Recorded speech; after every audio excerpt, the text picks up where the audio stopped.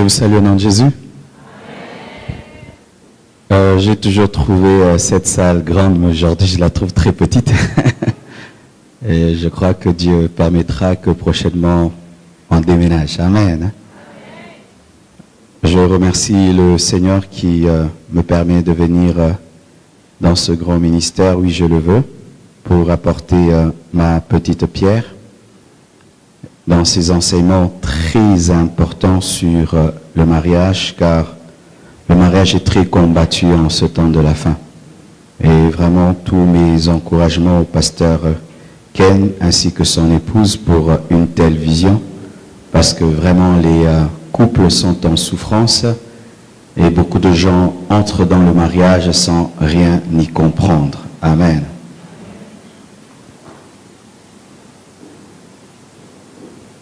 Je vais euh, avec vous pendant 1h20 sur 15 secrets des mariages qui durent heureux. Amen. J'ai ajouté heureux. Parce qu'il y a qui durent mais pas heureux. Amen. hein? 15 secrets des mariages qui durent heureux. Euh, le désir de Dieu, ce n'est pas seulement que le mariage dure. Parce que certains restent ensemble longtemps parce que ils ont peur pour les enfants, pour leur carrière, pour leur ministère. Qu'est-ce qu'on dira? Et ils font 50 ans de mariage sans être heureux, 60 ans de mariage, mais tout en regrettant d'avoir épousé cet homme et en priant même, demandant le décès de sa femme ou de son mari. Amen. Donc euh, le souci n'est pas seulement de vivre longtemps ensemble, mais heureux. Amen. C'est ça le souci de Dieu. Prions le Seigneur. Père éternel, Dieu de gloire, je demande ton onction, je demande ta puissance, je demande ta grâce et ta sagesse afin de communiquer ta pensée. Je prie, Père éternel, Dieu de gloire, que tu puisses te glorifier et te manifester au nom de Jésus-Christ. Amen. Amen. Salut pour moi ton voisin, ta voisine. Dis le pasteur Marcelo te salue. Amen. Et euh, j'ai euh, apporté un cadeau que je veux donner seulement aux plus vieux couples. Amen. Euh, qui ici ont fait déjà plus de 5 ans de mariage Donc, euh, 10 ans de mariage 15 ans 15 ans, il n'y a pas. 15 ans où? 15 ans. 25 ans. 25 ans? Plus de 25 ans. Combien? 28 ans. Et qui ont fait euh, 30 ans? 30 ans. Là-bas. Et qui ont fait 35 30 ans, 30 ans, 31.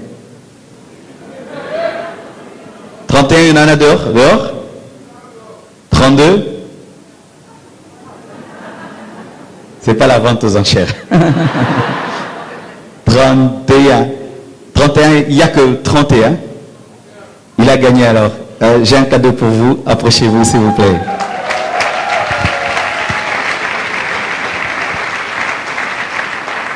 Acclamons, acclamons, acclamons.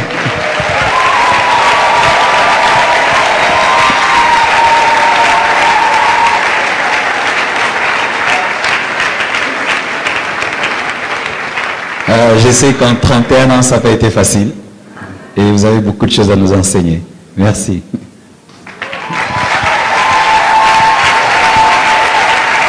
Euh, J'ai fait ça à Bukavu. On est arrivé, vous savez à combien? 53 ans. Et c'était qui? Le pasteur de l'église. et là, c'était extraordinaire de voir un homme de Dieu. Après toutes ces années, il a 80 ans et quelques, 53 ans de mariage, aimant sa femme, fidèle à sa femme, à sa vieille femme. Alléluia. C'est extraordinaire. Lorsque j'ai euh, prié pour euh, trouver un couple modèle dans ce domaine, un couple qui a, qui a un modèle de durée, et pas seulement de durée, de bonheur, Dans la Bible, vraiment, c'est difficile d'en trouver parce que presque tous les couples ont des problèmes. Le couple d'Abraham, d'Isaac, de Jacob. Alors, euh, il y a un couple extraordinaire que j'ai trouvé. Je crois aussi que vous l'avez trouvé. Euh, dans la Bible, quel est le mariage qui dure le plus longtemps? Répondez-moi. Dans la Bible, quel est le mariage qui dure le plus longtemps? Et le plus heureux? C'est le mariage de Jésus et l'Église. Acclamons Jésus. Amen. Donc, euh, mon enseignement sera euh, tiré du mariage de Jésus-Christ et de l'Église. Et euh, je ne suis pas le premier à le faire. Lorsque Paul a voulu enseigner sur le mariage, il n'est pas allé très loin.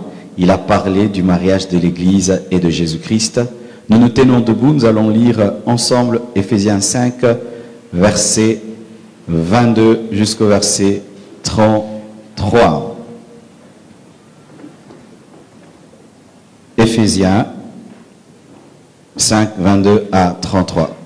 La Bible dit, Femmes, soyez soumises à vos maris, comme au Seigneur, car le mari est le chef de la femme, comme Christ est le chef de l'Église, qui est son corps, et dont il est le sauveur. Or, de même que l'Église est soumise à Christ, les femmes aussi, vous voyez, il tire son enseignement de la relation entre l'Église et Christ. Les femmes aussi doivent l'être à leur mari en toutes choses.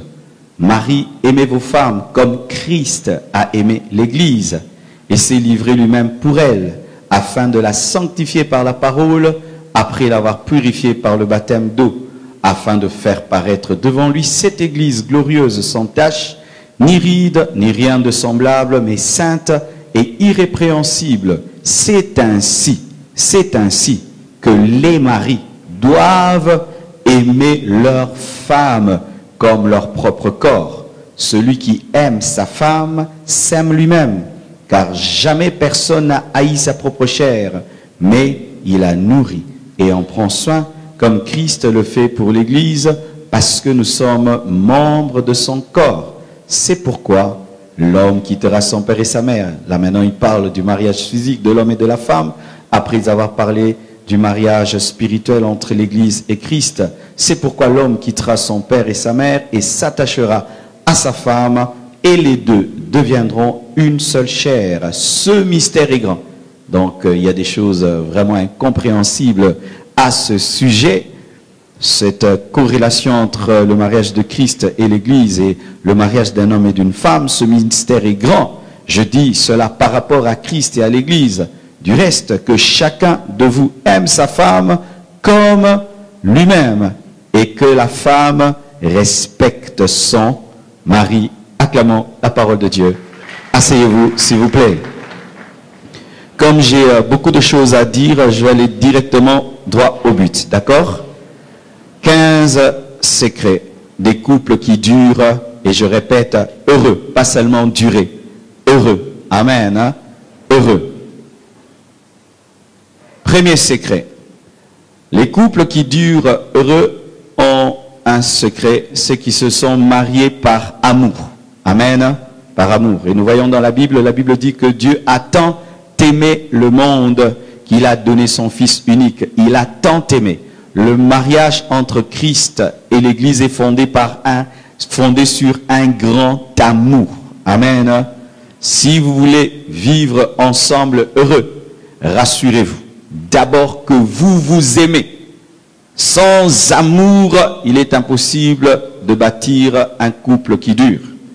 Si vous vous mariez par dette morale, elle m'a tellement aidé dans les fiançailles et je suis obligé de l'épouser, sachez que votre mariage ne va pas durer.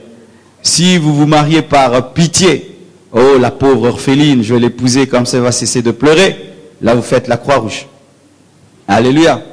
Si vous vous mariez par rivalité, compétition, ce qui arrive aujourd'hui de plus en plus, il y a des gens qui ne savent même plus pourquoi ils se marient, parce que ma copine s'est mariée, elle a fait un mariage de rêve, je dois battre son record en termes de décoration. L'amour.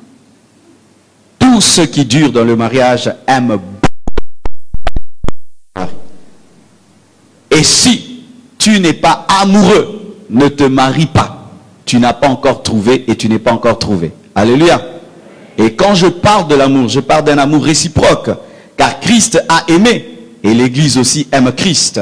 Si tu aimes sans être aimé, il n'y a pas mariage. Surtout pour vous qui êtes fiancés, n'osez pas. Tu peux beaucoup aimer une femme, être amoureux d'elle alors qu'elle ne ressent absolument rien pour toi. N'insiste pas. Et dans le mariage, lorsque l'homme aime beaucoup sa femme et la femme n'aime pas autant son mari ou la femme aime beaucoup son mari et l'homme n'aime pas autant la femme, un tel mariage ne va pas durer. Et s'il dure, il ne va pas durer heureux. Alléluia. Le mariage doit être fondé sur l'amour, pas sur le contentement. J'ai cherché, j'ai cherché, et j'ai pas trouvé la femme qui me convient, l'homme qui me convient, alors je prends celui-ci. C'est comme si quand tu veux t'habiller, euh, tu cherches un beau jean et tous tes jeans sont sales, tu te rabats sur une culotte. Il y a des gens comme ça. Ils attendent et attendent et attendent. Les années passent et passent et passent. Et eh ben, ils acceptent quelqu'un qui n'est pas euh, à leur goût. Et ils pensent qu'ils vont euh, un peu le rafistoler et en faire euh, l'homme de leur vie. Ça ne marche pas comme ça. Si tu n'as pas trouvé, tu n'as pas trouvé. Ne vous contentez pas. Amen. Hein? Ne vous contentez pas. On se contente quand on se marie. Mais quand on est fiancé, on est exigeant. Quand tu es fiancé, tu es exigeant. Quand tu te maries, tu te contentes. Mais certains se contentent déjà dans les fiançailles. C'est pas tellement mon goût, c'est pas tellement mon genre, mais ben, j'ai grandi, j'ai maintenant 35 ans, ben, je prends, je prends, je prends, j'accepte. Oui, je vais t'épouser. Tu m'aimes? Non, euh, j'ai grandi. Et d'autres, ils se marient par obligation. Au travail, on a dit, monsieur, tu veux devenir directeur, eh ben, tu dois te marier. Alors il est impossible que tu deviennes directeur sans être marié et tout d'un coup il cherche une femme. Pourquoi? À cause du poste, du boulot et puis tu prends n'importe qui parce qu'on t'a obligé de te marier. Tu n'as pas trouvé l'amour mais tu as trouvé un poste. Et le poste te créera un problème parce que par le poste tu découvriras que tu es vide. Alléluia. Il faut se marier par un grand amour. Parce que, pas parce que la coutume t'impose un homme, t'impose une femme. Et même, pas parce que l'église t'impose. Parce que des fois, lorsque les frères à l'église, le ministère commence à monter, il a l'onction, il prêche bien, tout d'un coup, il y a une forte pression à l'église. Marie-toi, marie-toi, j'ai connu cela. Marie-toi, un pasteur célibataire, c'est dangereux, c'est dangereux. Marie-toi, marie-toi, marie-toi. Oui, c'est vrai, c'est vrai, c'est dangereux d'être un pasteur célibataire. Mais je ne veux pas me marier à toute intercesseuse. Alors ça fait que souvent, ceux qui ont l'appel au ministère se marient sans amour, mais se marient parce qu'il y a une pression ecclésiastique. Pression ecclésiastique. Un homme de Dieu célibataire, c'est dangereux. Comment on va te confier les femmes d'autrui? Comment on va te confier les filles d'autrui? Ok, ok, ok. Pasteur, je dois me marier, comme ça il y aura la paix. Non, cher homme de Dieu célibataire, tant que tu n'as pas trouvé l'amour, reste célibataire même si on te critique. Alléluia. J'ai été pasteur à l'âge de 23 ans, je me suis marié à l'âge de 30 ans. 7 ans de célibat évangélique. Et j'ai bénissé les mariages. Et chaque fois que les gens s'opposaient à cela, je disais, oh, mais les prêtres n'ont même pas la vision de se marier, bénissent les mariages. À combien plus forte raison celui qui en a la vision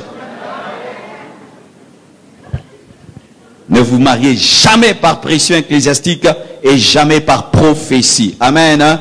Oh, les prophètes, vous faites des dégâts dans le domaine du mariage à un niveau.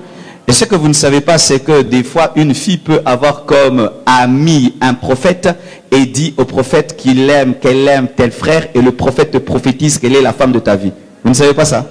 Oh, au Congo, ça arrive. Hein. Des prophètes envoyés téléguidés par une sœur et qui te dit, Dieu m'a dit c'est la femme de ta vie alors que c'est l'ami du... Oui, oui, oui, ça existe. Ah oui, vous ne savez pas? Ah oui, ça existe. Ça existe. Je connais une fille qui a même commencé à appeler un garçon prophétisant au nom de Dieu. Allô, allô, moi c'est Dieu. J'ai vu ta douleur, j'ai envoyé une femme, elle s'appelle comme ça. Oui, elle s'est fait passer pour une prophétesse. Elle changeait de voix au téléphone. Ne te marie pas par prophétie. Ne te marie pas non plus parce que tu as engrossé une fille. Oui. Si tu engrosses une fille et tu es amoureux d'elle, épouse-la. Mais si tu as engrossé une fille sans l'aimer, ne l'épouse pas, tu as épousé le bébé. Ah oui, parce qu'aujourd'hui, qu'est-ce qui se passe? J'entends des filles qui disent, le premier homme qui me connaîtra, ce sera l'homme que j'épouserai. Euh, ce n'est pas un verset biblique. C'est un principe. Alors ça fait que certains, vous vous mariez parce que vous voulez seulement obéir à un principe de virginité du premier. Le premier sera le dernier, alpha, oméga. Non. Un homme peut être le premier à te connaître, mais n'est pas l'homme de ta vie. C'est un escroc, un voyou qui est passé par là. Mais certaines femmes, vous épousez un homme seulement parce qu'il a été le premier. Mais alors, si c'était le premier voyou? Une fois que tu n'aimes pas, si tu n'aimes pas, même si c'est le premier, même s'il y a eu un enfant, ne vous mariez pas. Continuez à prendre soin de cet enfant. Alléluia. Tu peux même prendre soin de la mère, mais tu ne l'épouses pas. On se marie que lorsqu'il y a beaucoup d'amour. Tous les couples qui durent, comme le papa qui est venu, 31 ans et d'autres 40, 50 ans, la base, c'est un grand amour. Amen. Hein? Pas des intérêts. Tu as tellement souffert chez vous, vous êtes pauvre et le garçon est riche et tu l'épouses. Surtout faites très très attention frère, vous qui déjà avez de l'argent. Amen. Les célibataires friqués, fais attention. On peut aimer ton argent, ta voiture et ta maison sans t'aimer toi-même, surtout avec la pauvreté actuelle du Congo. C'est pourquoi je, je vous encourage, chers frères, vous qui avez déjà beaucoup de moyens et vous êtes célibataire, vivez dans la discrétion de peur qu'on aime votre compte en banque au lieu de vous aimer. C'est pourquoi encore, je dis ceci.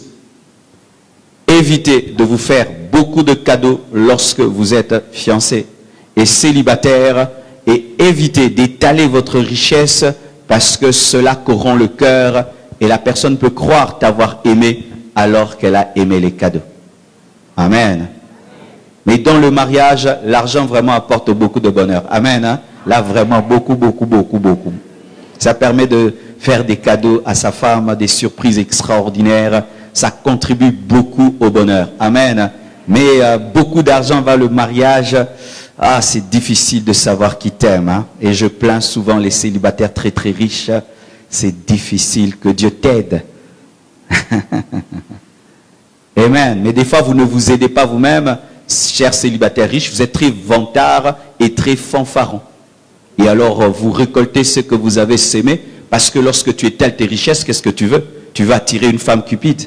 Même, chères sœurs, aujourd'hui les femmes, n'est-ce pas, que vous attrapez le boulot plus vite que les hommes. On a des sœurs célibataires qui travaillent, maison, voiture et tout le reste, et tout le temps, tu, tu étales ta richesse et tout. Et ce jeune garçon pauvre s'attache à toi et il se bat pour t'épouser tu penses qu'il t'a épousé, il a épousé ta voiture. Voici le test que je vous donne, chère sœur, lorsque tu as beaucoup de moyens, tu es célibataire, et qu'il y a un garçon qui s'aguiche à toi, fais ceci. Ne lui donne pas ton argent. Amen. Oh, je veux rentrer, rentre. Je m'en vais, vas-y. Transport, pas transport. Comment tu viens me draguer, je dois te payer le transport. Eh, je t'aide trop, quoi.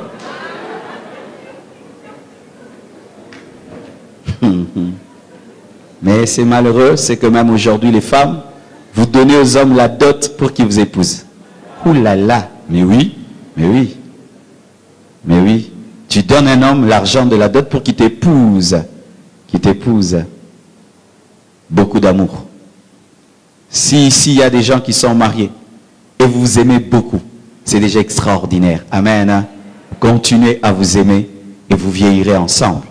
Mais si votre amour a commencé à diminuer, vous êtes là pour les enfants, vous êtes là malgré vous pour le témoignage et la réputation, faites très très attention, votre mariage va mourir ou il va durer, mais dans la peine et dans la souffrance.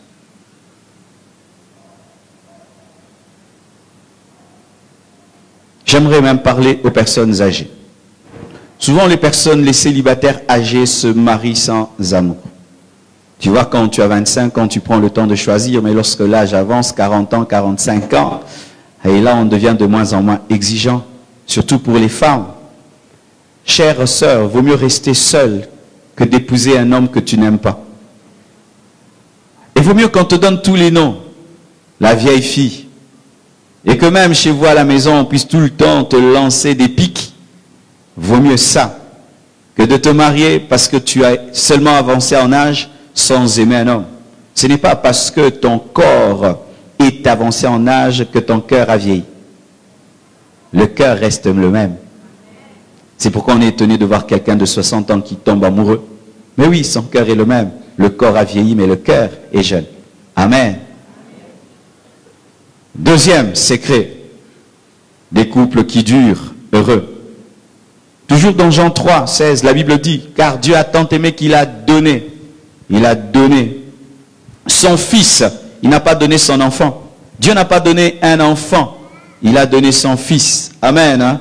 Il a donné son fils unique.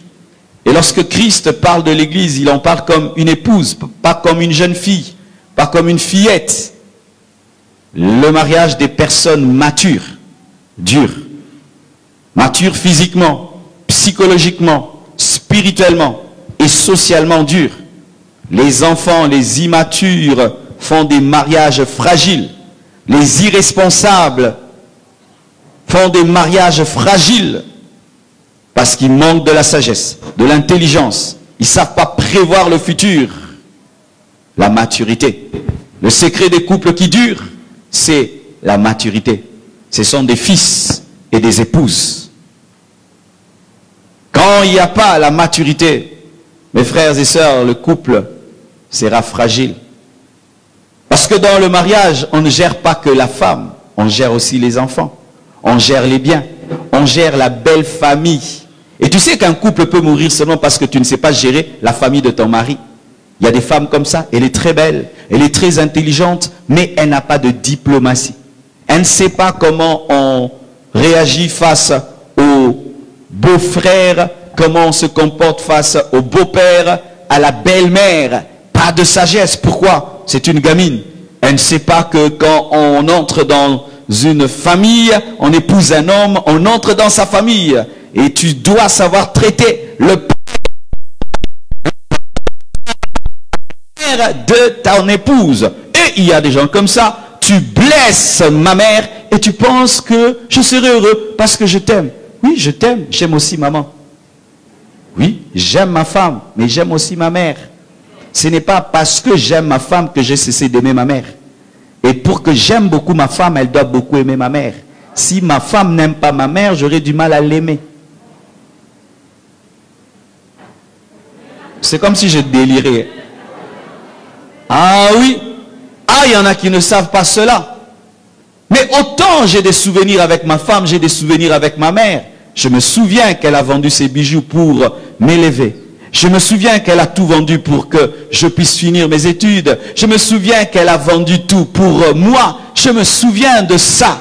Et ça fait partie de mes histoires d'amour aussi. Maman fait partie de mes histoires d'amour, pas seulement blanche. Et quand je vois ma femme aimer sa mère, je trouve que c'est normal. Pourquoi? Mais c'est sa mère. C'est sa mère. Cette femme l'a portée pendant neuf mois. Cette femme l'a gardée. Et si je l'ai trouvée en bonne santé, c'est parce que cette femme-là l'a gardée. Alors lorsque j'entre dans la vie de ma femme, je ne dois pas effacer sa mère. Là, ça demande la maturité. Et si tu manques de maturité, ton couple ne va pas durer. Tu auras ta belle famille qui va t'attaquer, t'insulter tous les jours et tous les jours. Souvent, les euh, sœurs qui ont comme amis leur belle-mère et les frères qui ont comme amis leur beau-père, ils ont des couples heureux. Pourquoi? Parce que quand ça ne va pas, tu peux même accuser ta femme auprès de sa maman. Hé maman, mais ta fille, hey, qu'est-ce que tu as avec ton mari? Mais si elle est contre toi, Alléluia, on fera des réunions contre toi en Chiluba. J'entends comme ça au téléphone, bah, côté Chiluba. Yosko parle la langue. Amen. Le mariage est interdit aux enfants. Enfants non admis. Amen.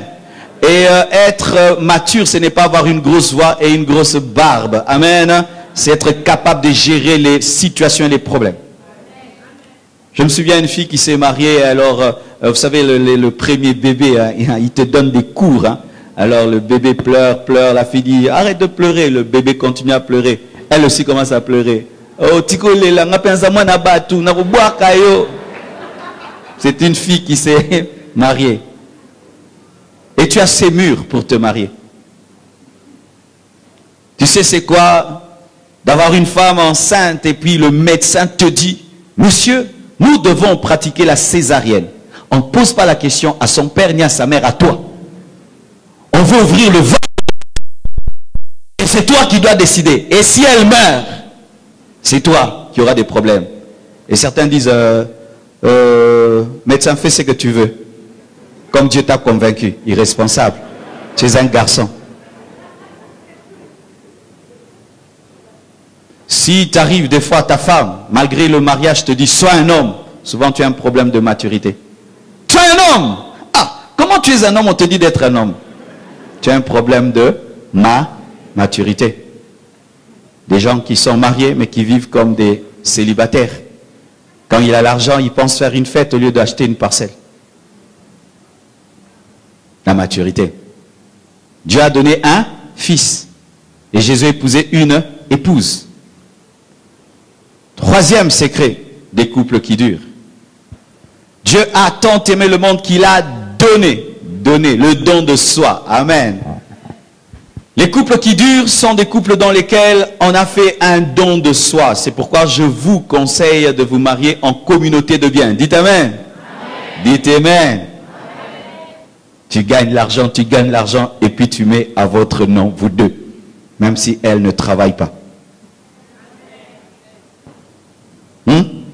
Souvent, nous les hommes, nous acceptons cela, mais à l'envers, les femmes refusent. Quand un homme gagne des millions, il peut dire communauté de biens. Mais la femme, si elle gagne des millions et l'homme est euh, fauché, et puis il dit, chérie, communauté de biens, hein? Toi, tu es venu dans ma vie pour mon argent. Mais quand nous, on vous épouse, on fait communauté de biens, même quand vous êtes chômeuse. Vrai ou faux?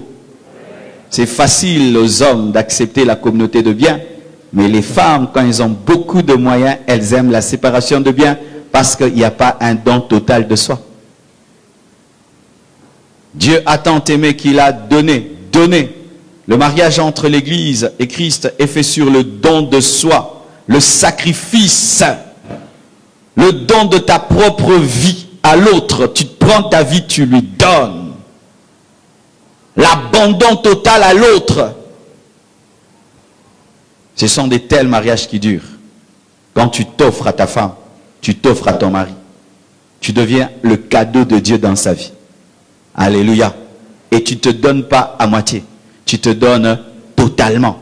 Il n'y a pas une partie de ta vie que tu n'as pas donnée à ta femme, que tu n'as pas donnée à ton mari. Ceux qui se donnent à moitié ne durent pas dans le mariage. Car je vous assure, il est possible de se donner, mais à moitié. Certains donnent leur corps, mais ne donnent pas leur temps. Certains donnent leur temps, mais ne donnent pas leur corps. Certains donnent leur corps, mais ne donnent pas l'oreille. Tu ne donnes jamais l'oreille. Et d'autres même le regard. Certains sont dans les couples, mais tu regardes jamais l'autre. Tu lui donnes pas le regard, tu lui donnes pas l'oreille, tu lui donnes pas le temps, tu lui donnes pas le corps. D'autres, tu ne fais jamais de cadeaux. Des cadeaux.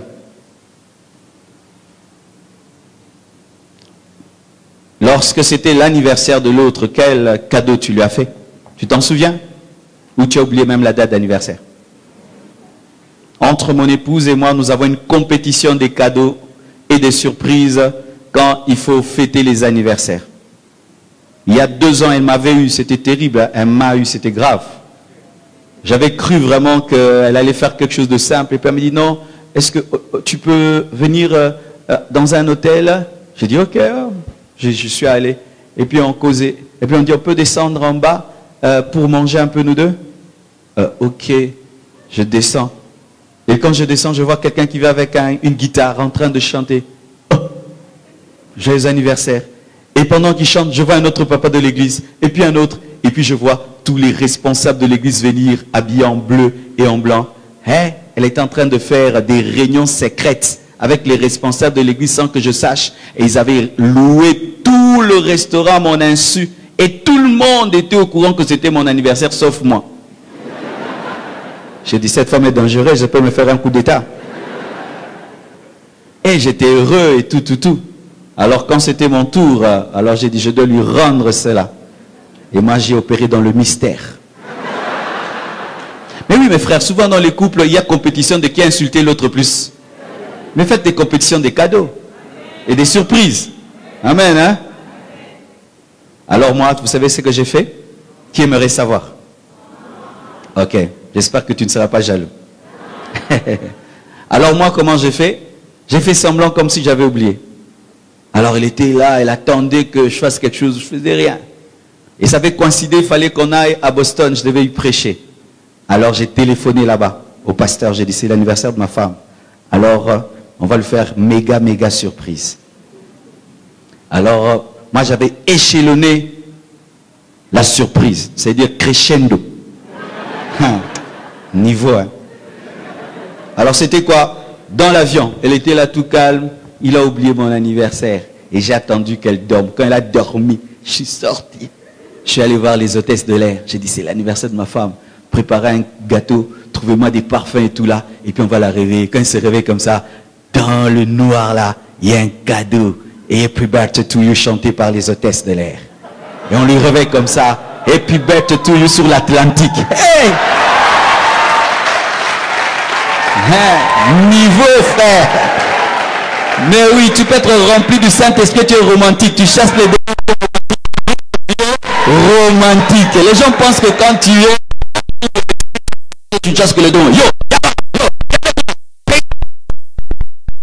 c'est pourquoi souvent les femmes ont peur d'épouser des prédicateurs. Parce qu'ils n'ont que le langage de l'autorité. Ils pensent qu'il est tout le temps l'église en train de faire la délivrance. Alors elle était déjà heureuse, c'était déjà bien dans l'avion. Mais quand on arrive, on atterrit là, il y a toute une délégation avec un, bouquet de fleurs, encore, happy birthday to you. Hey. Elle dit non, là c'est fini, je crois.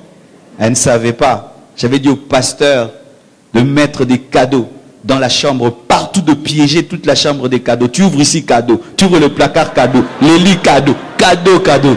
Elle a dit, ah Marcelo, j'ai gagné. Alléluia. Depuis que j'ai battu ces records-là, elle n'arrive pas à les battre. Donc, j'attends voir ce qu'elle fera. C'est ça. Alléluia. Bah, je ne suis pas marié, ça fait longtemps, seulement 11 ans ou 12 ans. 12 ans de mariage, mais c'est comme si je l'épousais hier. Alléluia. Je continue à la draguer. Dites Amen. Alléluia. Se donner. Tu ne peux pas avoir de l'argent et tu ne donnes pas cet argent à ta femme. Tu ne peux pas avoir de l'argent et tu ne donnes pas cet argent à ton mari. Tu ne peux pas être une belle femme, mais tu ne te donnes pas ton mari. Vous savez qu'il y a des belles femmes, elles sont belles, tout le monde les trouve belles, mais leur mari ne les voit pas. Vous savez ça? Se donner totalement. Amen. Faire des sacrifices pour l'autre avec joie.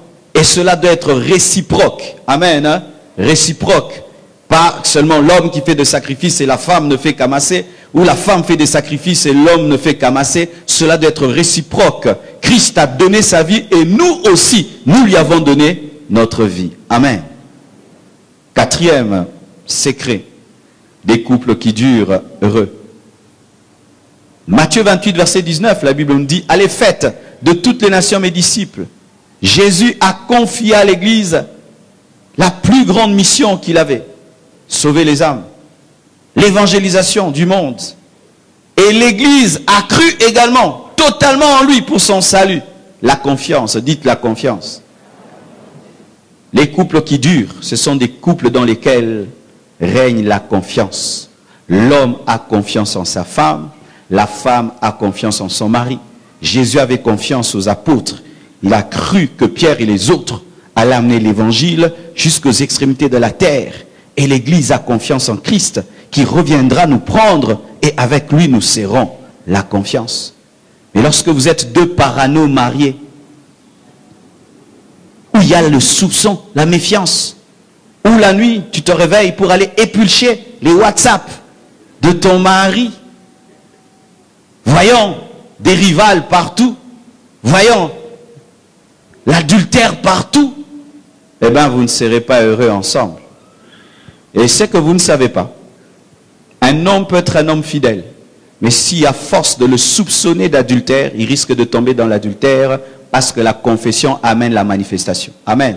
C'est pourquoi, ma sœur, il faut éviter de côtoyer les couples problématiques.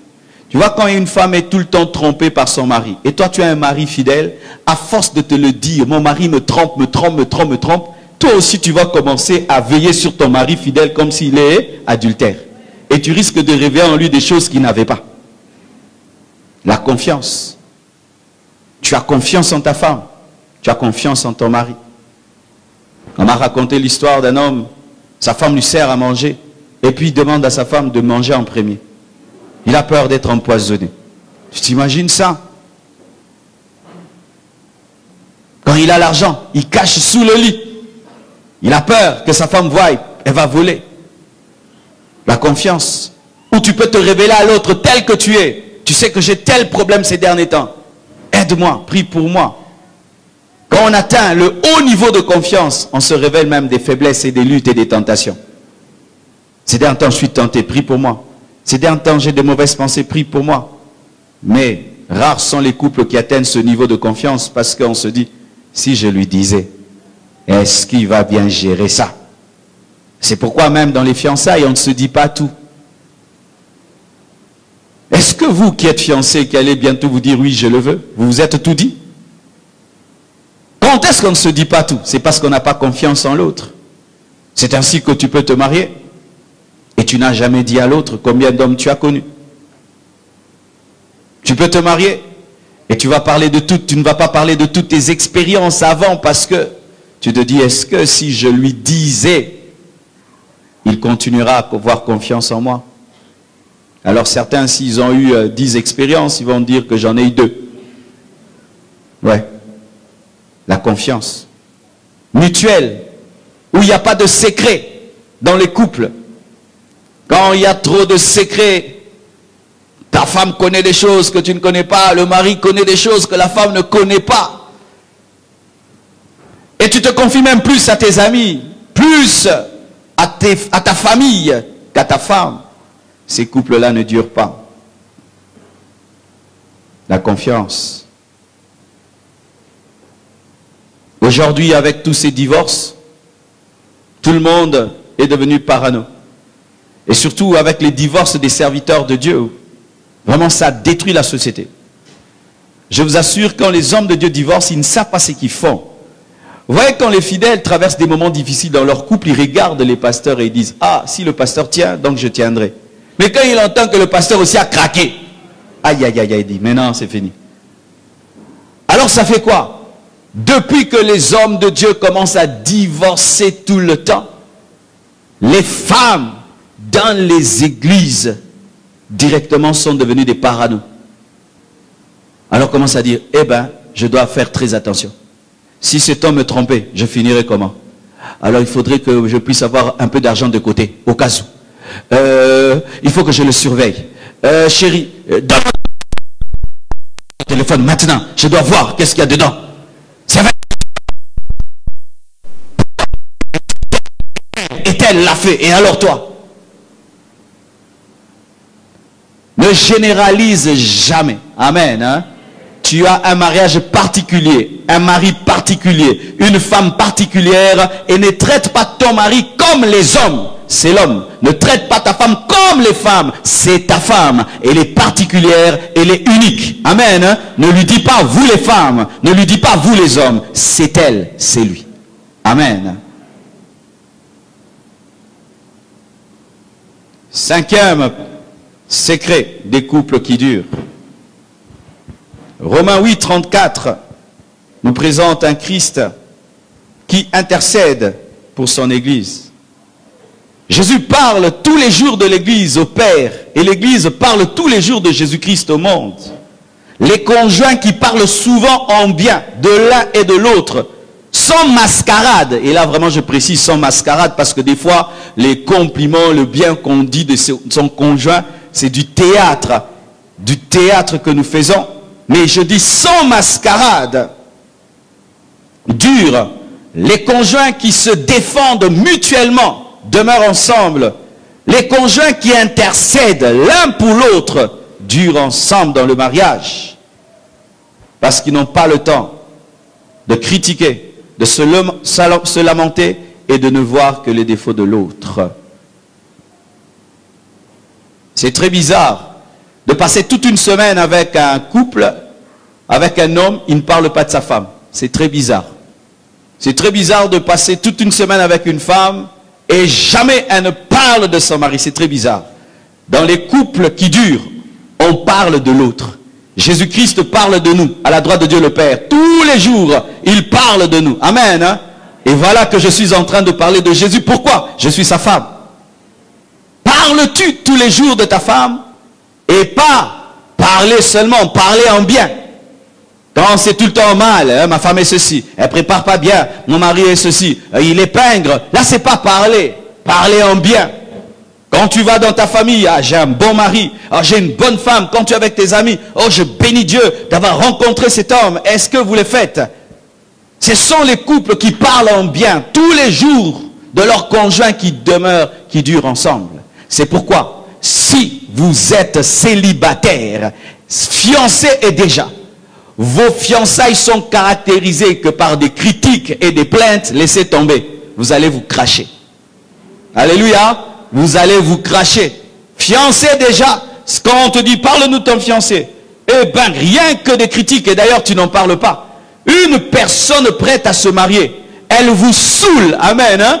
C'est Moukaï Libakou, eh Jean. Eh Jean, eh Jean, mais toi, tu vas te marier bientôt, tu n'en parles même pas. Il faut qu'on te rappelle que tu es fiancé. Eh, et il y a ce loco, et Naroba là.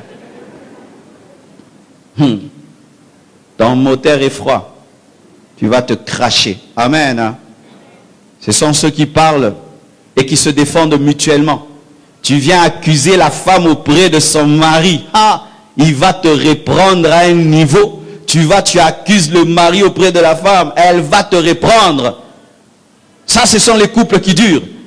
Mais dans les couples fragiles, tu vas accuser l'homme auprès de la femme. Elle dit, écoute, d'ailleurs, d'ailleurs, c'est un démon. Lui, vraiment, non, tu ne connais pas tout. Lui, c'est Satan. Mais dans les couples qui durent, ose prendre le courage d'aller parler du mal d'un homme auprès de sa femme, malgré qu'il a des défauts. Elle lui trouvera des qualités. Et souvent on dit que, mais toi tu es aveuglé, vraiment, tu es aveuglé, tu ne vois plus rien. Oui, c'est l'amour. Alléluia. Je dis toujours ceci. Quand je suis euh, fiancé, montre-moi les défauts de ma femme, montre-moi les défauts de, euh, de, ma fiancée et tout le reste. C'est vrai, pour que je puisse euh, changer. Mais quand quelqu'un est marié, et tu viens seulement pour lui montrer les défauts de son mari et de sa femme, qu'est-ce que tu veux? Tu cherches quoi? Tu cherches quoi? Alors moi je dis toujours, eh ben c'est bon, tu m'as dit. Maintenant, euh, la solution c'est quoi? Divorcer? Non. Euh, la tabasser? Non. L'insulter? Non. C'est quoi? Continue à l'aimer, mais je l'aime déjà. Alors, euh, prie pour elle. Alléluia. Prie pour elle. Un jour, quelqu'un me, dit, mais pasteur, mais ta femme, elle vient en retard à l'église. Elle vient tout en retard à l'église. Je dis, frère, toi tu sais quand est-ce qu'elle se réveille Tu sais, elle prend soin de quand moi je viens à temps là, qui prend soin de moi? Mon café, ma veste, qui a arrangé tout ça? Et tu sais, elle prend soin de combien d'enfants avant de venir à l'église? Eh bien, est-ce qu'elle est obligée de venir au premier culte? Elle viendra au deuxième culte. Frère, que ce soit la dernière fois. Toi, tu es célibataire, tu peux faire trois cultes. La mienne, elle prend soin de moi pour que je vienne au premier culte. Pourquoi? Avocat. Mais je ne peux pas dire, hein, tu as raison, hein, une maman pasteur doit venir au premier, deuxième, troisième culte. Non, non, non, non, non. Ma femme ne vient pas à tous les trois cultes. Elle vient seulement au deuxième culte. Elle doit se reposer. Pourquoi? Pour avoir la force pour moi. Dites Amen.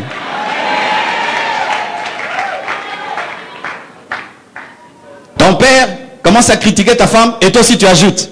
Il va en prendre l'habitude. Tes soeurs commencent à critiquer ta femme et toi aussi tu ajoutes. Oh, ce sera terrible il faudrait dire que ce soit la dernière. si vous voulez la paix dans la famille, hein, arrêtez ça. Et toi, ton mari, il est parfait? Non. Et toi, ta femme, elle est parfaite? Alors, qu'est-ce que vous voulez la faire? Parler que de la mienne? Qu'on parle de ton mari et de ta femme? Alors, arrêtez ça.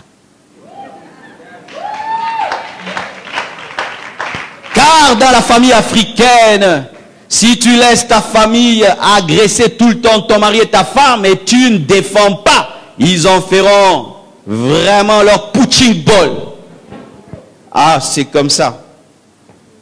C'est pourquoi très tôt, quand vous vous mariez, devez affirmer votre mariage. Ah oui, tu sais, quand tu es un jeune garçon, papa a l'habitude de te dire, fais ça, fais ça, fais ça. Et euh, demain, il peut dire, eh, ta femme ceci, ton mari cela. Et tu dis, papa, avec tout le respect que je te dois, maintenant, je suis chef chez moi. Et euh, j'aime la manière dont ma femme prépare le haricot, même si l'eau monte et le haricot descend. C'est mon goût. Mais quand papa est parti, tu dis, ah, mais il faut remonter même les haricots. Donne-moi la main. Pourquoi? Parce que les hommes, dans le domaine des défauts de nos conjoints, prennent des photos mais ne filment pas, alors que le film permet de voir l'évolution de l'autre, mais la photo garde la chose statique. Et lorsque tu entres dans leur consciambule, ils ne retiendront que les défauts, mais quand l'autre changera, ils ne reviendront pas dire qu'elle a changé. Mhm.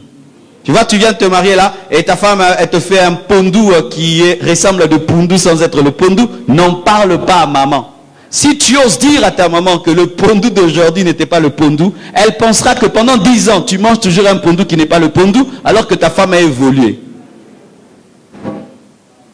Mais si on te dit, comment va chez toi? Oh, vraiment, j'ai grossi. Je suis heureux. Ce qui ne va pas, c'est entre toi et elle. Vous avez des parrains pour cela et des pasteurs pour cela. Alléluia. Et on en parle aux parents que vraiment lorsque ça devient limite, limite. Amen.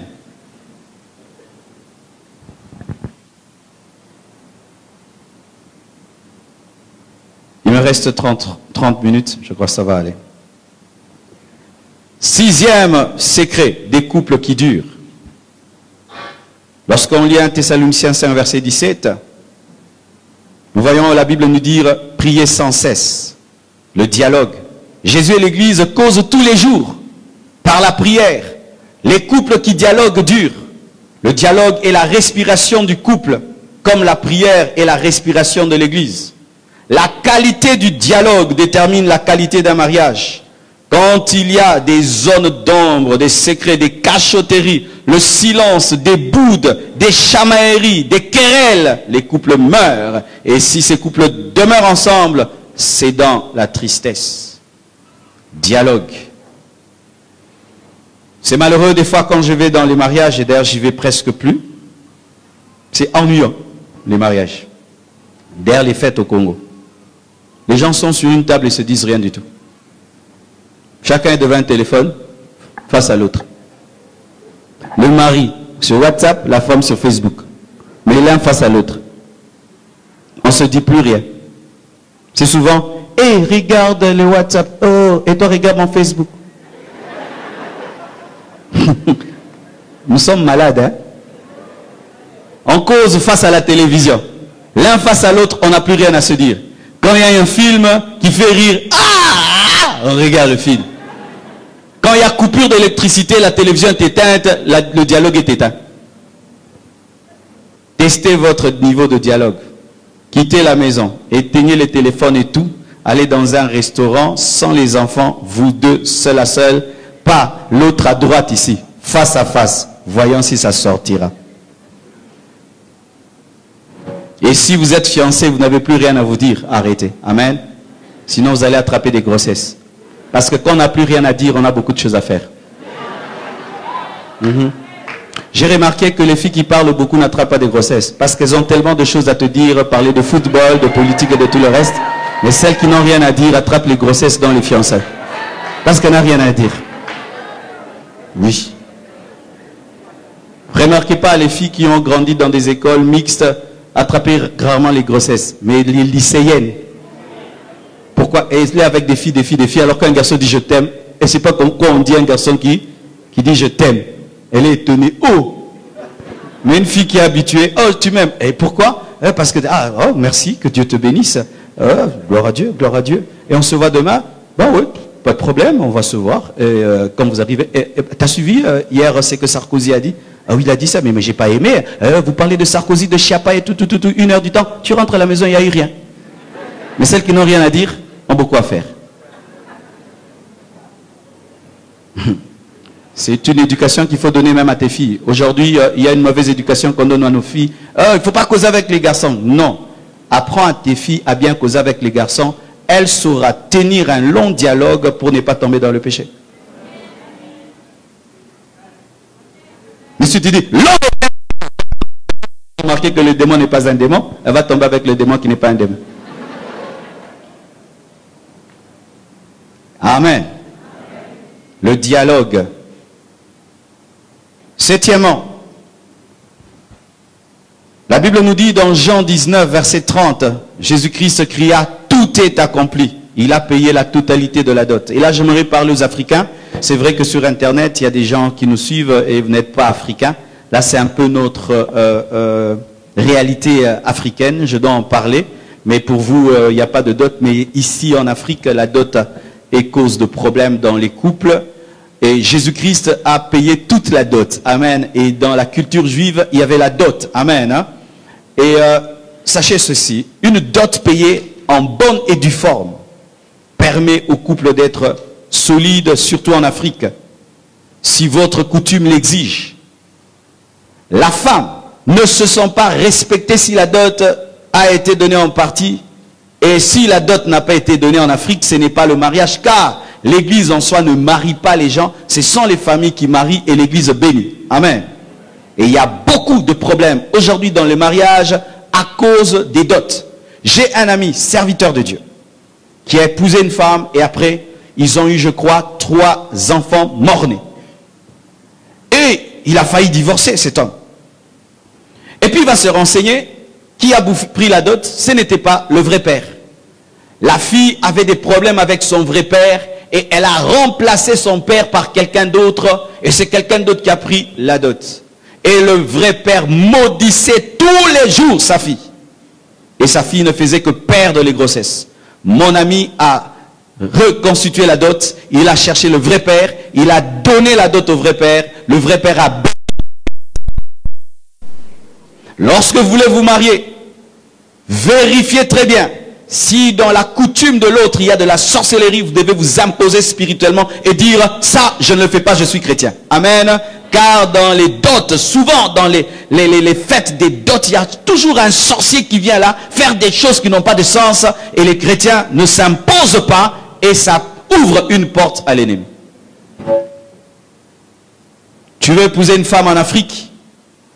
Paye toute la dot. Amen toute la dot. N'ayez pas des dettes. Amen.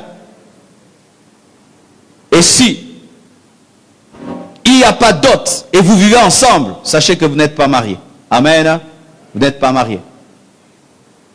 En Afrique.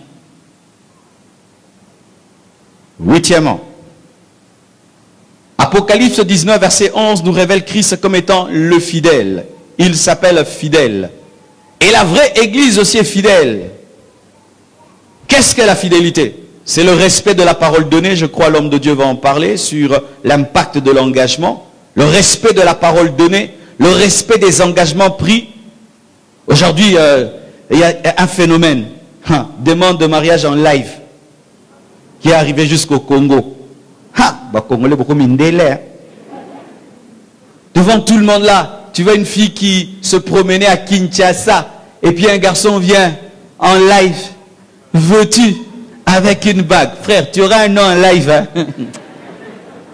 Et on remarque maintenant, les, les, jours de mariage, c'est comme, c'est trop préparé. Ah, vous allez danser comme ça, vous allez vous habiller comme ça. Et tu vois vraiment la fille parle pour faire pleurer le garçon. Et quand il fait pleurer le garçon, il dit, tu vois, je t'ai fait pleurer, hein. Et tu entends le frère, il a, a préparé, il veut faire quelque chose de beau, de théâtral, d'hollywoodien. Et vous entendez des belles phrases qui ne se diront jamais plus. C'est comme s'il il vide le stock le jour-là. Ce que je te dis là, c'est pour la vie. Tu ne l'entendras plus jamais. Je préfère dans les couples les gens qui, les jours de mariage, qui disent peu, mais qui après le mariage disent beaucoup que ceux qui disent des choses extraordinaires, qui ne diront jamais. Tu sens que là, vraiment, il a lu. Hmm, il a lu. Ça, c'est pas lui. Tu es le réverbère de ma lampe. Ah Tes amis qui te connaissent savent que tu n'as jamais utilisé le mot réverbère dans ton... dans ta phraséologie. Ça n'existe pas. Mais quand on t'amène ici, réverbère. Soyez vous. Amen. Si tu n'aimes pas chanter, ne chante pas parce que tu ne chanteras pas dans le mariage. Vous chantez le jour de votre mariage. Continuez à chanter aussi. Faites des choses que vous continuerez à faire. Ne cherchez pas à épater la galerie. Ne cherchez pas à faire des mariages qui seront beaux, concordance entre la veste et la moquette et les fleurs et les ceci et cela, mais il n'y a aucune harmonie dans votre couple. Et des fois, vous dites des choses ici. Et quand vous avez des problèmes et vous venez dans nos bureaux, on vous les rappelle. Oh, pasteur, non, le eh, frère, le là. Voici ce que vous dites souvent. Je vais vous le rappeler. Vous le dites souvent? Vous l'avez dit? Mais pourquoi quand le pire vient, vous dites Ah non, Ezek m'a Vous dites ça pour le meilleur et pour le mais quand le mari perd le travail, tu l'abandonnes. Quand la femme a un défaut, tu l'abandonnes. Quand l'autre tombe malade, tu l'abandonnes. Mais vous avez dit pour le meilleur et pour le pire. Dites-nous d'enlever le pire alors. La fidélité, c'est le respect de la parole donnée. Tout ce que vous dites, je te protégerai, je te chérirai, je serai soumise. N'est-ce pas que vous dites, je serai soumise? Les sœurs, vous le dites, hein? Mais des fois, c'est du théâtre je te serai soumise le même jour du mariage. Viens ici, non, yate. Non, non. Bon, non.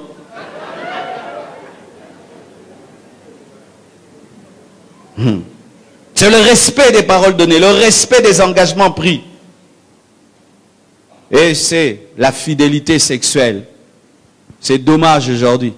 Tu entends des gens tomber dans l'adultère après une année de mariage. Une année de mariage, tu trompes déjà ta femme. Mais c'est terrible, quel record. Et aujourd'hui, ce n'est pas seulement les hommes, même les femmes deviennent adultères. Une femme adultère. Ouh là là, c'est sale. C'est sale. Une femme adultère, c'est sale. Oh, oh, oh, oh. En plus, une mère des enfants. Eh, eh, eh, eh, eh, eh. Quelle saleté. Je vous dis, un niveau de saleté très élevé. Tu es mère et adultère. Ah, ah, ah, et tu finis de commettre l'adultère. Tu rentres chez toi à la maison. Et puis tu prends tes bébés en main. Bébé.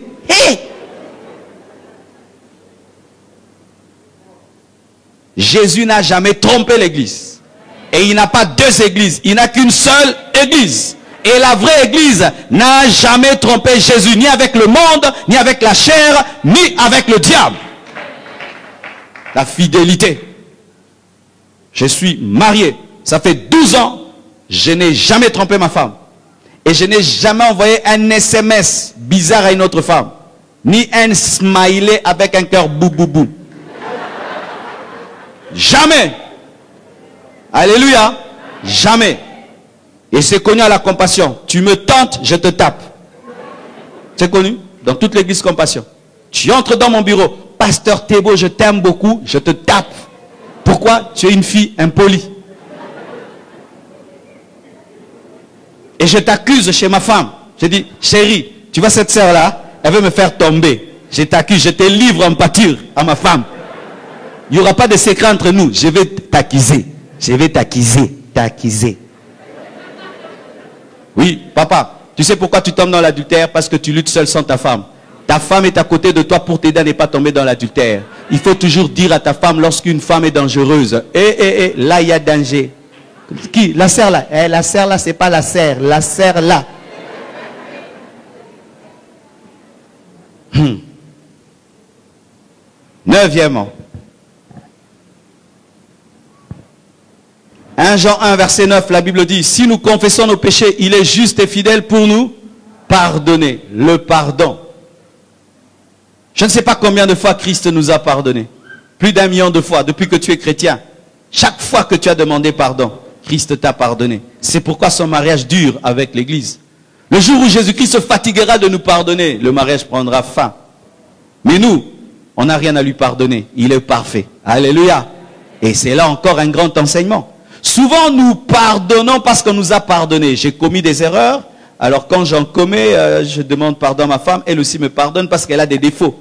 Mais Christ le parfait pardonne à la femme imparfaite. Ça, c'est extraordinaire. Car souvent, dans les couples, c'est quoi? Si toi, tu te tiens carreau, tu es très dur avec celui qui a des défauts. Mais Christ est parfait. Mais il pardonne à l'église imparfaite. Il faut pardonner et pardonner et pardonner et oublier et effacer et traiter l'autre comme si jamais il n'a fait le mal, mais jamais faire la comptabilité du mal qu'on t'a fait. Tu viens de refaire l'erreur commise il y a dix ans et trois mois et sept jours. Comment tu sais J'avais écrit dans mon agenda le jour. Des gens qui ont des mémoires d'éléphant. Ça, c'est la septième fois que tu viens de faire ça.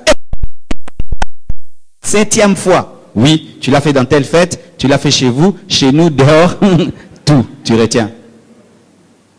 Mais Jésus pardonne. Si nous confessons, nous devons confesser. Des fois, dans les couples, il n'y a pas de pardon parce qu'il y a de l'orgueil. Parce que des fois, ta femme peut vouloir te pardonner et ton mari, mais tu es orgueilleux. Je remarque des hommes, il trompe sa femme et puis il encore sa femme. Il découche. Et quand il revient, la femme dit, tu viens d'où? Tu tapes ta femme. Et, au lieu de t'humilier et de demander pardon, tu tapes. Tu l'insultes.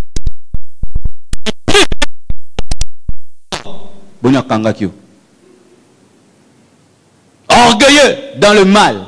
Des femmes qui font le mal, mais ne peut pas s'humilier pour dire, chérie, je présente mes excuses, je me suis mal comporté. Elle fait le mal et puis elle te bouge. C'est elle qui a tort. Elle abîme l'atmosphère de la maison. Maintenant, toi, maintenant, tu dois arranger, mais c'est toi qui as raison. Demandez pardon et pardonner. Sans cela, le couple ne dure pas. Sans cela, le mariage dure, mais dans la souffrance. Dixième secret. Dans Acte 16, verset 16, la Bible nous dit alors que Paul exerçait son ministère, une femme qui avait un esprit de python l'a excédé. Et Paul a chassé cet esprit de python parce qu'il embrouillait sa communion avec Jésus, sa communion avec le Saint-Esprit. L'Église, l'épouse de Christ, chasse le diable. Et Jésus a dépouillé les autorités, les dominations à la croix. Pourquoi? Pour protéger son couple. Les couples qui durent se séparent des mauvaises relations nuisibles à leur union. Amen. Tout couple qui dure ici, c'est un couple qui hier avait un ami et qui aujourd'hui n'en a pas parce que c'était un mauvais ami. Vous n'aurez jamais des couples qui durent si vous continuez à trimballer des mauvais amis. Tu es mon ami, gloire à Dieu. Tu deviens infidèle, tu n'es plus mon ami. Tu es mon ami, gloire à Dieu. Tu divorces, tu n'es plus mon ami. Tu n'aimes pas ta femme, je ne suis plus ton ami. Pourquoi tu vas me contaminer? Quand je veux causer avec toi, tu me raconteras tout ce que tu fais à ta femme. Et je risque de t'imiter. Alors comme je ne veux pas une mauvaise influence, je ne suis l'ami que des pasteurs qui aiment leur femme comme pasteur Ken. Oui. J'aime pasteur Ken. Sans prophétie, je sens qu'il aime sa femme. Il n'a pas besoin de me dire. L'amour, ça c'est sent. Je sens qu'il aime ça sa femme. Je sens. Et je sens que, en le côtoyant, il ne viendra pas me dire un jour, euh, bêta maman blanche coup de tête. Non, jamais.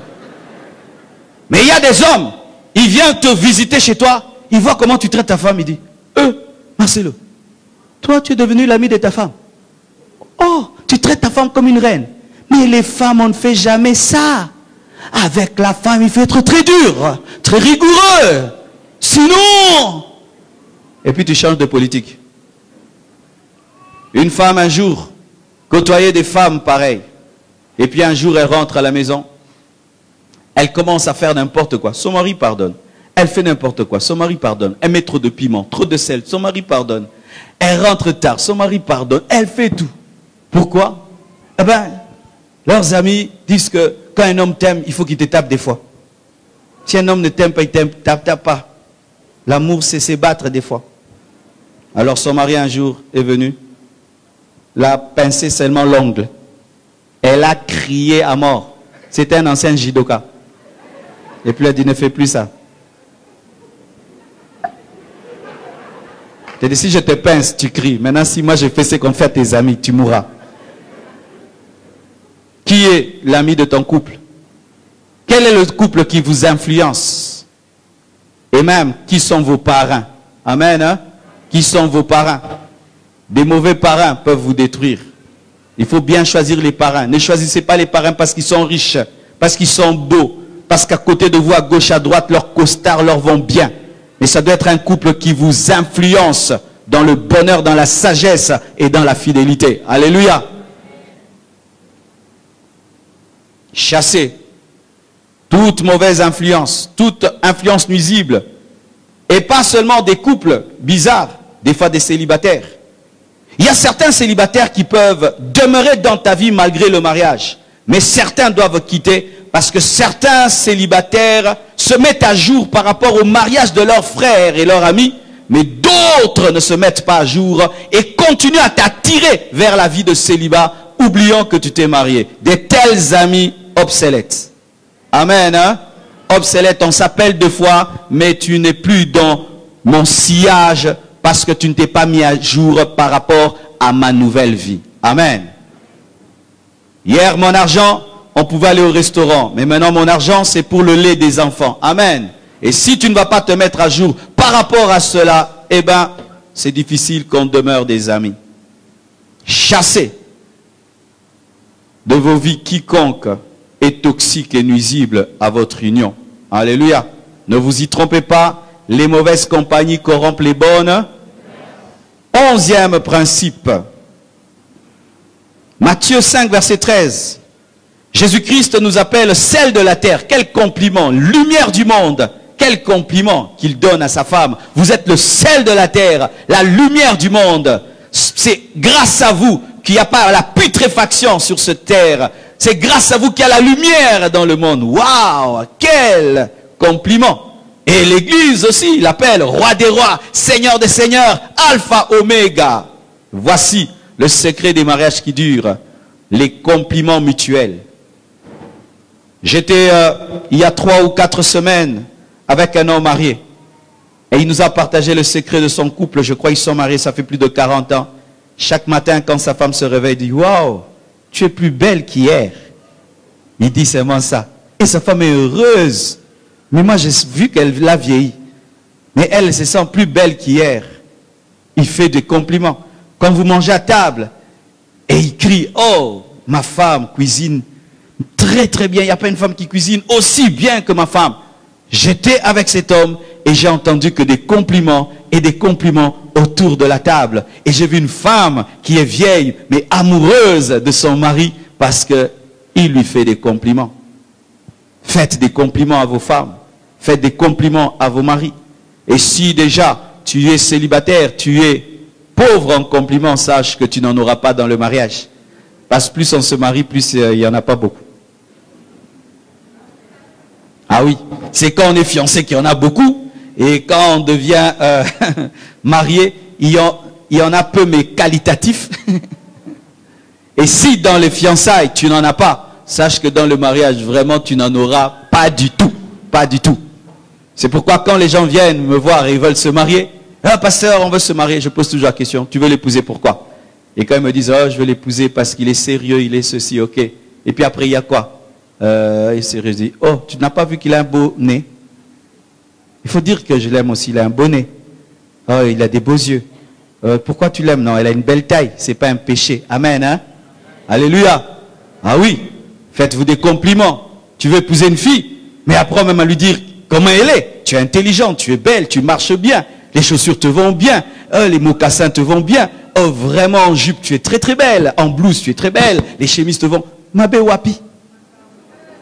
Alléluia. Si déjà tu n'exerces pas ta langue à le faire, tu auras du mal à continuer à le faire dans le mariage. Et dans le mariage, on en a besoin. Et pas seulement les femmes, même nous les hommes, ça nous fait du bien. Moi, quand je finis de prêcher, ma femme me dit, le boma qui, ah, le boma li mais si je finis de prêcher et je rentre à la maison, je sais que j'avais prêché. Je rentre là, j'attends, elle dit rien. Ah, je dis, mais comment elle dit rien hein?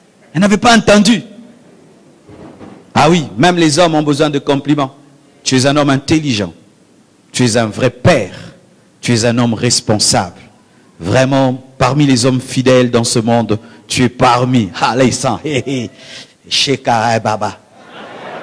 Ah oui, même les hommes ont besoin de cela. Quand il est dans son beau costard, dis-lui, quel mannequin? Atazamukuse, quel mannequin? Jésus fait des compliments et l'Église fait des compliments. Amen. Douzièmement, la Bible dit dans Apocalypse 22, verset 17, l'Esprit et l'Église disent, viens. L'Esprit et l'Église disent, viens. Et là, c'est quoi Le désir du retour physique de Jésus? Un mariage spirituel a eu lieu, mais nous voulons que Jésus vienne pour les noces de l'agneau. Un mariage physique, on le verra tel qu'il est. L'attirance physique. Chers frères et sœurs, n'épouse jamais un homme qui ne t'attire pas. Physiquement, sexuellement. N'épouse jamais une femme qui ne t'attire pas. Physiquement et sexuellement, votre mariage ne va pas durer. Parce qu'on ne se marie pas pour faire un groupe de prière. Alléluia. Si l'homme que tu veux épouser est nul et sans effet, Amen, hein, ne l'épouse pas. Il n'a pas d'onction dans ta vie. Il en aura ailleurs. Amen. Il faut épouser quelqu'un dont la présence t'amène à prier. Seigneur, batelanga papa, nasa la. Bien, bien. Il y a l'onction. Et donnez-moi l'amen. Mais c'est grave des fois dans les églises. Tu vois des gens qui se marient samedi, et puis, trois jours, ils n'ont rien fait. Oh, c'est comment? Euh, Quoi? Euh, Ben non, bah, on n'a pas le temps pour ça. On a prié, prié, lit la Bible. Ben, on est allé à l'évangélisation et tout. Et? Depuis samedi, tu pas ben, On n'a pas eu le temps, on n'a pas eu le temps. Ben, quand ça viendra. Et? C'est un pasteur qui prêche la sainteté qui te dit ça, frère.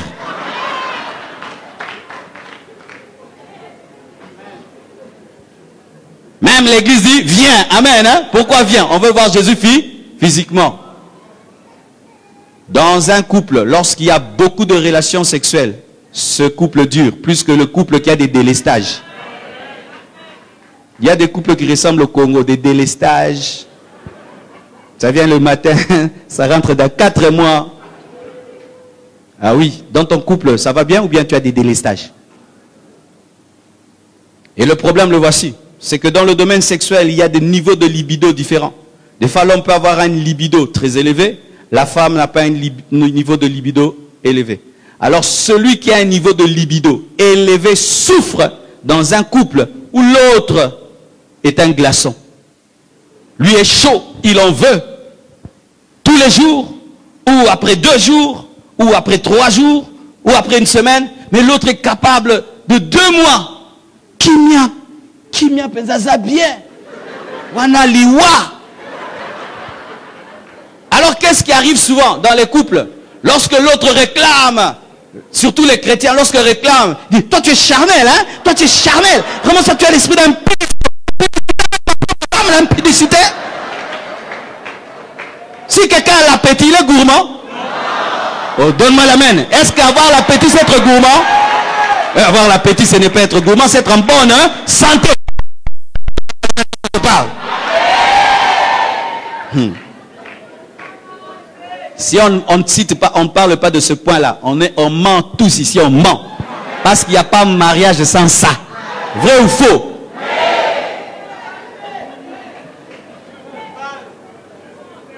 C'est pourquoi, pour vous, les anciens couples, je vais parler aux anciens couples,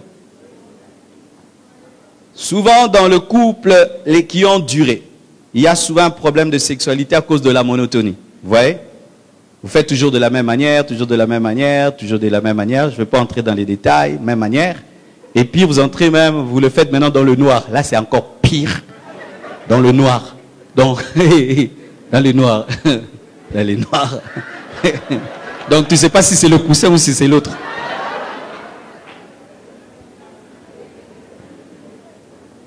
Quand vous commencez à voir la sexualité dans le noir, vous avez un problème.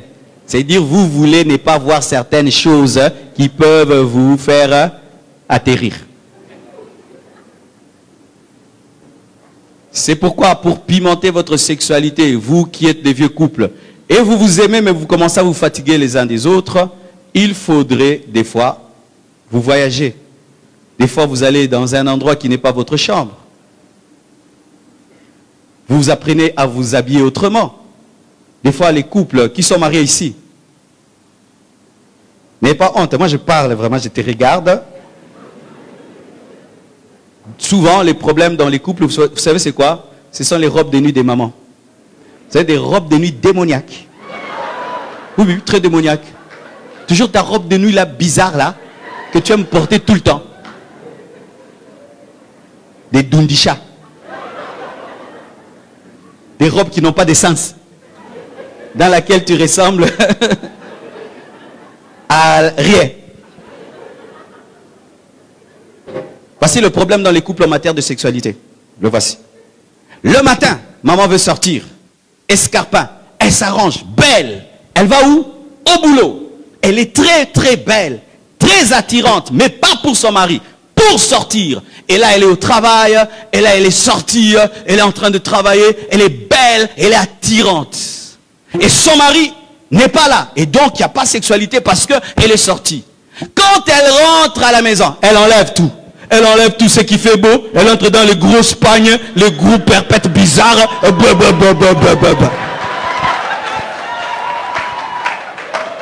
Maintenant, tu vois, celle qui est sortie, celle qui est revenue, il n'y a pas match.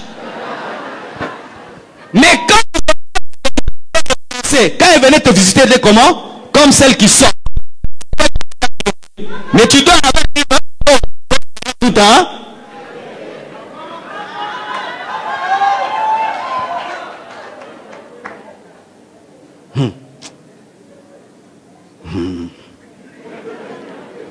C'est pourquoi, autant vous préparez le temps de manger, préparez le temps de votre sexualité. Quand vous ne préparez pas votre sexualité, ce serait une sexualité monotone, où vous avez des coiffures bizarres, vous sentez bizarre, tout est bizarre. Vous voyez la nourriture qu'on met sur ma table, il y a. Mais quand c'est préparé, ça a plus d'intensité. C'est pourquoi même les hommes, les femmes sont étonnés. Comment ce mari-là, responsable, va aimer cette jeune fille-là Parce que là-bas, ce n'est pas monotone. Là-bas, ça se prépare. Là-bas, c'est intense. Mais à la maison, c'est un film en noir et blanc. Euh, oui. Tu m'as épousé, tu dois me désirer. Non, ça ne marche pas comme ça. Parce que je peux avoir mangé le foufou toute ma vie chez mes parents, mais quand je me marie, non, ils m'ont suscité. Vrai ou faux? Il faut être désir, désirable. C'est pas parce qu'un homme t'a épousé qu'il te désirera toujours physiquement. Il peut t'aimer dans le cœur, mais le désir physique est différent. C'est comme l'appétit. C'est dire je t'aime, mais tu n'es pas appétissante. Parce que tu es chrétienne, et surtout les intercesseuses. Aïe, aïe, aïe. Quand une femme devient très spirituelle, elle jeûne beaucoup. Papa, oh kaini susu. Pablo kiliba posan soto. Zambe kangulam bal nanga na posan soto kuleki mikoloyo. Azala na posa lola. Pour que la minute Jésus revienne bientôt. Bien, il fallait bosser à l'église.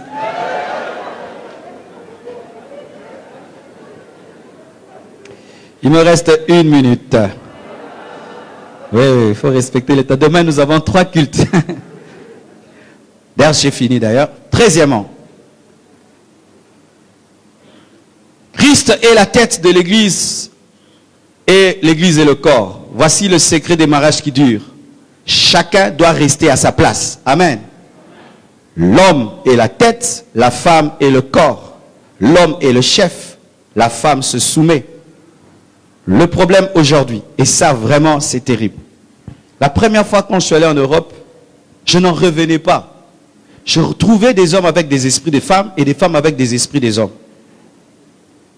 Tu trouves un homme avec le bébé. Euh, la femme n'y touche pas. C'est l'homme qui a le bébé. Quand tu causes avec eux, c'est la femme qui parle, qui répond à toutes tes questions. Le mari dit oui, oui, oui, oui, J'ai dit, moi j'ai dit, peut-être c'est ce couple qui a ce problème. Sur dix couples, sept couples fonctionnent comme ça. L'homme est femme, la femme est homme. Mais à force, j'ai remarqué que le même esprit est venu au Congo. Le test, le voici.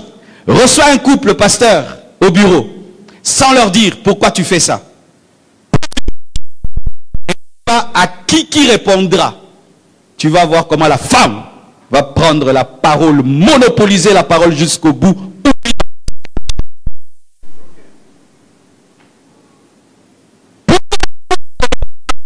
Et de nos mamans. Parce que maman restait à sa place, papa à sa place. On n'avait pas des maris gigolos. Aujourd'hui, des hommes qui se plaisent. Il ne fait rien dans la vie. Sa femme travaille, lui sape. Il ne fait rien dans sa vie. Il est heureux. Ma femme, elle a un bon boulot. Ma femme est médecin. Ma femme est ceci. Ma femme est cela. Et toi, tu ramènes quoi? Rien. Il ne cherche pas le travail. Il ne fait rien. C'est la femme qui paye la maison. C'est la femme qui fait tout.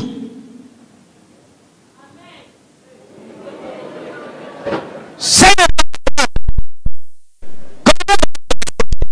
Un jour, tu lui diras, qui est la mienne Et au fait, c'est moi qui m'en vais. Je dis toujours ceci aux sœurs. Si tu sens que tu es incapable de te soumettre à un homme, ne te marie pas. Ne te marie pas. Même si tu es belle, tu sais préparer, tu sais tout.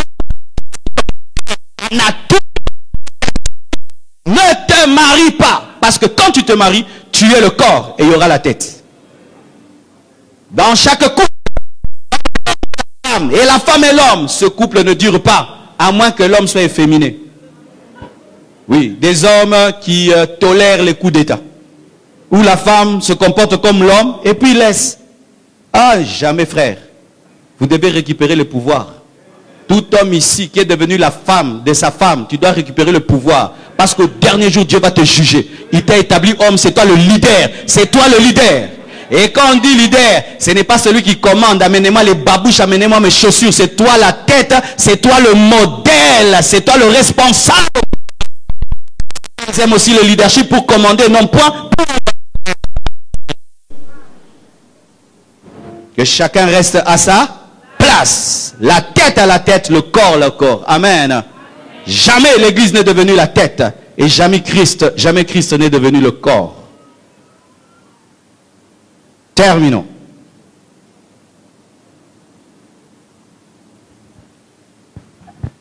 Voici un secret des, des, couples qui durent. Une bonne préparation au mariage. Amen.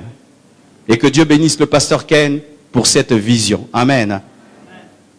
Vous ne savez combien vous êtes en train de sauver des gens. Une bonne préparation au mariage permet de bâtir un couple qui dure. Aujourd'hui, peu de pères éduquent leurs fils. Peu de mères éduquent leurs filles, les préparant au mariage. Ces conversations n'existent presque plus. Et qui doivent prendre la relève? L'Église. Amen. L'Église doit enseigner sur le mariage. Chez nous, chaque fin du mois, j'enseigne sur la famille. Je laisse le message de la sainteté, miracle, guérison. Je parle de la famille parce que les parents sont des missionnaires. Une bonne préparation. Je vous donne ce secret, mes frères. Vous voyez, en enseignant ici, vous sentez bien que je n'aurais pas tout dit. Allez lire des livres sur le mariage. Amen. Avant de me marier, j'ai lu beaucoup de livres sur le mariage parce que j'avais reconnu que j'avais une carence. Je n'étais pas assez préparé à me marier. J'étais un bon prédicateur, mais j'allais être un mauvais mari. Alors j'ai lu beaucoup de livres sur le mariage. Lisez beaucoup sur le mariage. Et lorsque vous entendez qu'il y a une conférence, un séminaire sur le mariage célibataire, allez écouter et réécouter, même si tu le sais déjà, réécoute encore. Amen. Christ s'est préparé pendant 30 ans d'anonymat pour engendrer l'Église. Alléluia. Il s'est préparé à cela. Voyez comment Esther a été préparée pour se marier. Et comment le Saint-Esprit nous prépare, nous, l'Église, pour l'enlèvement. Une bonne préparation amène un couple qui dure. Dernier, dernier point. Quinzièmement. Apocalypse 22, verset 17, la Bible dit, l'Esprit et l'épouse disent, viens. Le Saint-Esprit est le parrain de notre mariage avec Christ. C'est un bon ami de notre mariage. Une influence positive dans notre couple. Les couples qui ont des bons amis, qui les poussent, qui ont des bons conseillers, des bons modèles, des bons parrains, des bonnes influences, ces couples durent. Mes frères et sœurs, si vous êtes mariés et vous avez des mauvais parrains, il y a un parrain par excellence, le Saint-Esprit. Amen. La Bible dit, ce n'est ni par force, ni par puissance, mais c'est par mon esprit, dit l'Éternel. Sans lui, nous ne pouvons tenir dans le mariage. Alléluia. Et sachez que pour cela, vous devez pratiquer cette parole à deux. Tu veux tenir ferme dans ton mariage, tu dois dépendre du Saint-Esprit. Et pour avoir le Saint-Esprit, tu dois avoir Jésus. C'est pourquoi si tu n'as pas Christ dans ta vie, tu auras un couple détruit, anéanti, parce qu'il sera sous l'emprise du diable. Il faut que tu sois chrétien. Et à vous qui êtes célibataires, n'épousez pas des païens. Alléluia. Épousez des chrétiens qui ont le Saint-Esprit. Et le Saint-Esprit, quand des fois je fais mal à ma femme et je lui dis quelque chose de mal, le Saint-Esprit, quand je vais prier, me dit, tu lui as mal parlé. Et je reviens, je présente mes excuses. J'arrange parce que j'ai l'Esprit. Mais quand tu épouses quelqu'un qui n'a pas le Saint-Esprit, les démons encore lui disent, ajoute encore. Mais quand quelqu'un a le Saint-Esprit, l'Esprit lui dit, tu n'as pas bien fait. C'est pourquoi mariez-vous à des chrétiens et pas n'importe quel chrétien. Un chrétien qui a la même doctrine que toi. Car des fois, les divergences doctrinales amènent aussi des problèmes dans les couples. Amen. Hein? La même doctrine. Si quelqu'un dit que Jésus a fini sa course en Branham, tu vois, ça crée des problèmes. Il croit en Jésus, mais dit, il finit sa course en... Alors toi, tu dis que Jésus est à la droite de Dieu le Père. Vous aurez des problèmes. Il faut la même doctrine et épouser des véritables chrétiens. Que Dieu vous bénisse abondamment. Nous allons nous tenir debout et nous allons prier. Il n'y a pas assez de place pour que je fasse un appel? Alors je demanderai à chacun de nous, que ce soit nous qui sommes dans la salle et ceux qui sont dehors, que chacun de nous lève la main et prie en fonction de ce que Dieu lui a dit dans ce message. Prions au nom de Jésus-Christ. Ni par force, ni par puissance, mais par ton esprit, mais par ton esprit, ni par force, ni par puissance, mais par ton esprit, mais par ton esprit ni par force, ni par puissance, mais par ton esprit. Ni par force, ni par force, ni par puissance,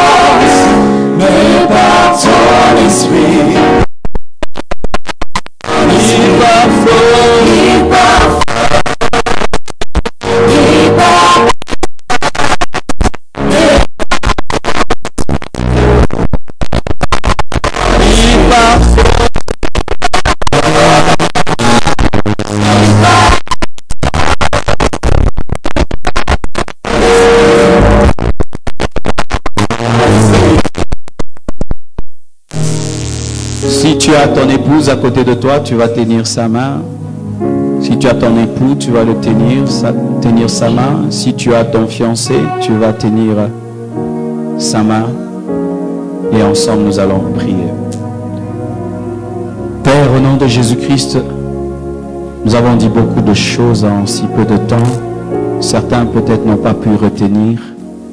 Mais je demande un grand travail du Saint-Esprit dans les cœurs et dans les vies pour réparer les couples, pour solidifier les couples, pour guérir les couples.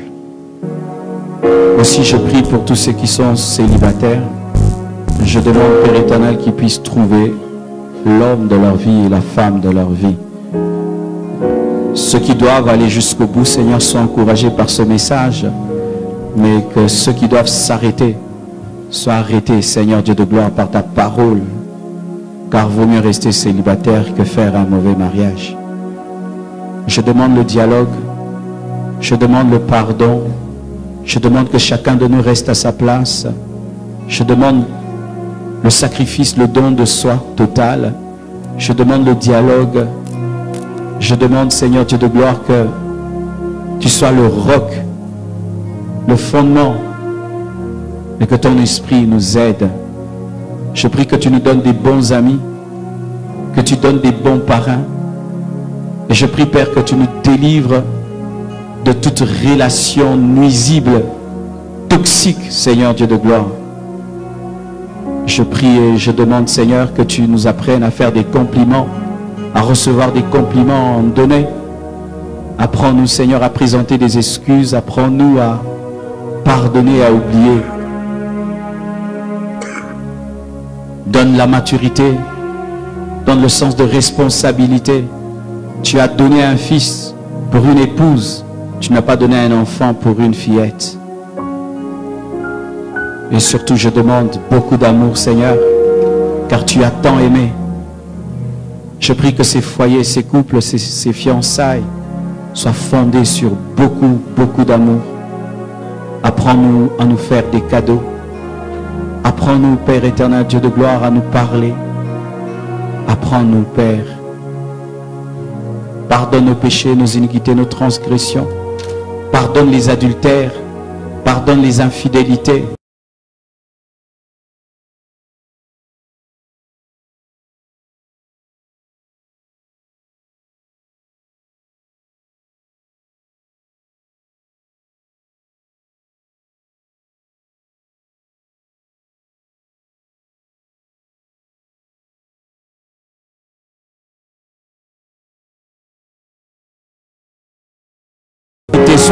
Et que le futur marié soit conduit sur le chemin de la bénédiction. Au nom de Jésus-Christ. Amen, Amen, Amen. Que Dieu bénisse abondamment. Merci.